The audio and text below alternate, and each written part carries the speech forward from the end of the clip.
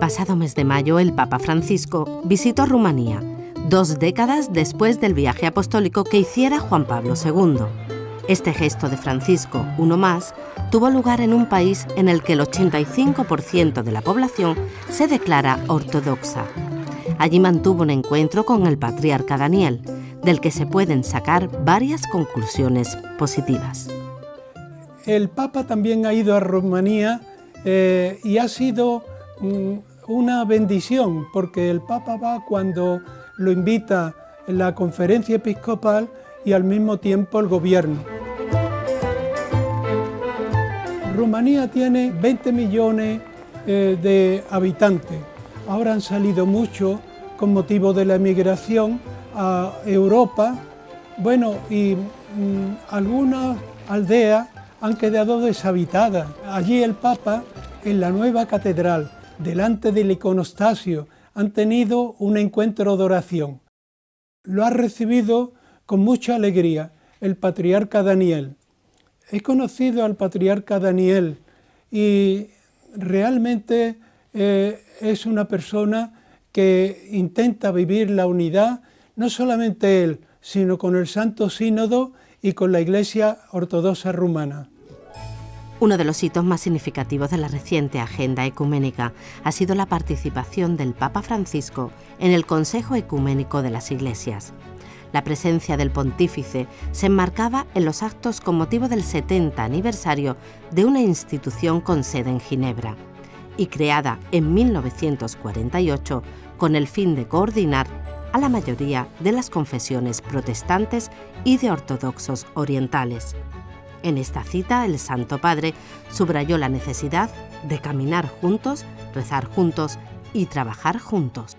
Tuve la ocasión de ir en Suiza, Ginebra, donde está el Consejo Mundial de Iglesia. Solamente entrar en ese recinto y ver el espacio donde ha habido 70 años de, de camino, donde las iglesias se han prestado mutua ayuda eh, espiritual y también en el trabajo teológico y en la ayuda eh, para la eh, paz y la justicia. Solamente pisar ese lugar ya es un eco mm, profundo, que el Papa lo habrá vivido con más profundidad, porque claro, llevaba un mensaje de paz en el 70 aniversario y les agradeció todo el camino recorrido. Una de las citas de la Iglesia Católica al comienzo del año ha sido la Semana de Oración por la Unidad de los Cristianos. Esta edición del octavario ha servido para estrechar lazos en todas las diócesis entre los representantes de las distintas comunidades cristianas. La Semana de Oración por la Unidad de los Cristianos ha resultado, gracias a Dios, muy bien en Sevilla, porque ha estado representando eh, distintas eh, corporaciones y entidades. En primer lugar por los sacerdotes, después también convento de clausura, porque la oración en el camino ecuménico es imprescindible.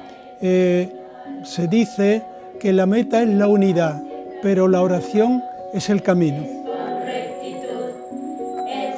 También para los seminaristas en el aula de teología de la Facultad de Teología de, aquí de Sevilla. Y mm, tendremos también un acto de oración con representantes de distintas iglesias en el Seminario Metropolitano, en eh, el aula de teología de la Facultad de Teología de, aquí de Sevilla. Bueno, pues todo esto significa una presencia eh, corporativa de la Iglesia Católica con las otras iglesias cristianas para el testimonio de la unidad de los cristianos.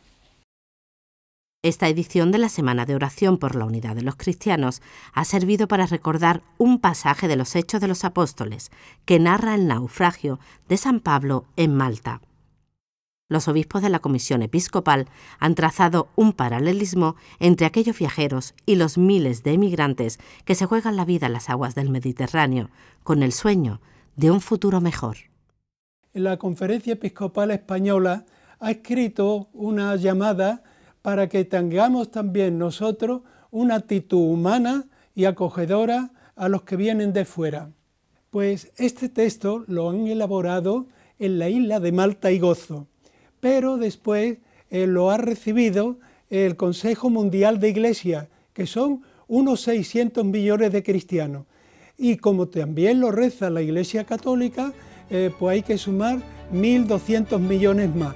O sea que eh, son 1.800 millones de cristianos que están rezando este mismo texto. Nos recibieron con una gran humanidad. Es una invitación a vivir la acogida a todos los niveles.